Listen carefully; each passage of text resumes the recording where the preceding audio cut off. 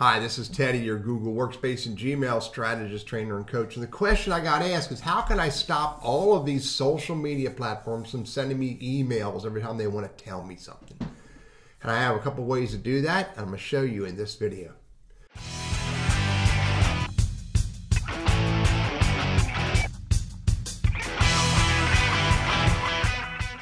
So first of all, if one of the things you could do is create a filter. Now I'm going to grab the URL. I don't have any emails coming to me from LinkedIn, but I'm going to grab this this email address right here, copy email address, and go do a search for that email address.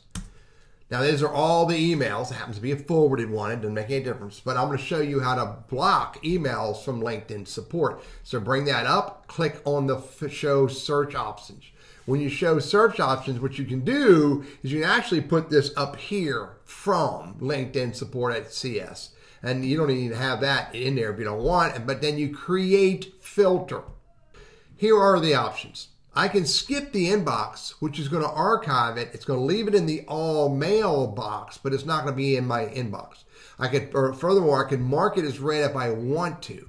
Or I can simply just do this, delete it and all the mail that comes in from this email address will, automatically be deleted. Now, what that means, it's going to move, move it over into the trash box, and every 30 days, the trash box gets empty, and so does the email that's in there.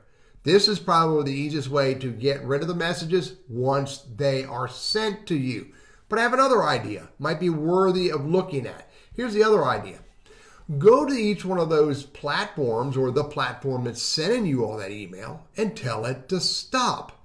On LinkedIn, you can go to settings, go to email, and you can make a decision what email messages you want or don't want. It'll pretty much turn off almost all of it.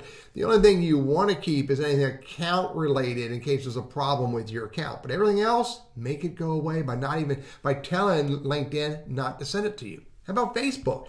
You can go to Facebook settings, which is over here on the down arrow, settings right here, and you can go to notification settings and you can make a decision what emails you want. Turn off anything that's email related you don't want. People you may know, maybe you want to get an email for that. It's off, but if I have it turned on, I can say send me an email or push notification or SMS. I turn it off. Anything I don't want, birthdays I don't want, videos I don't want, events I don't want, you can see they're all turned off in Facebook. On Instagram, you go to email and SMS and you can say subscribe to blah, blah, blah, blah, turn it all off. Look, shopping bags. I don't want shopping bags. You can turn all that off. And then the last one I have, that's the only ones that I really use, is Twitter.